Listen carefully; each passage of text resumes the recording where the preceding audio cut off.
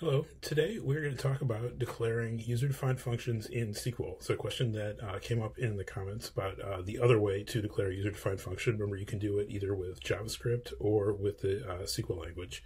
So it's a little bit different. It's actually a little bit a little bit simpler than uh, doing in JavaScript. So let's look at the way we did it in a previous video. So you can see uh, use a fully qualified name here with the data set and uh, the project and the data set and the function name.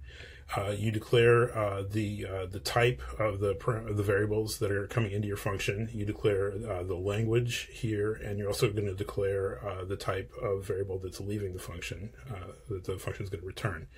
So when you use SQL, it's actually going to be, like I said, a little bit simpler. So you don't need to declare the language that you're using. it's understood that you're going to be using SQL. You don't need to declare the um, the uh, data type that your function is returning, and you don't need to uh, use the actual return statement. Uh, so let's go ahead and take a look. So we got uh, the create or replace uh, function uh, statement here. So we're still going to declare the type of variable that we're taking in. So we'll use x again. And we're taking, this is just a function that's going to take a, an integer and multiply it by 5. So we'll take in 64 as, and we're going to use uh, safe multiply. take x, and it's going to multiply it by 5. And go ahead and run that.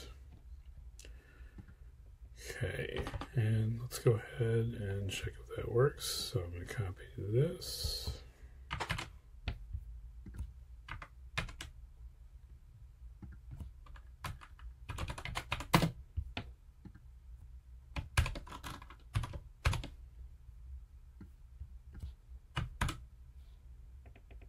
All right. So this is going to be really valuable uh, if you have uh, like an already existing uh, SQL query that you're going to need to run uh, multiple times uh, with different parameters. This is going to be a really uh, valuable tool to have. So thank you for watching, and if you're interested, please subscribe for more on Google Analytics, BigQuery, and Data Studio.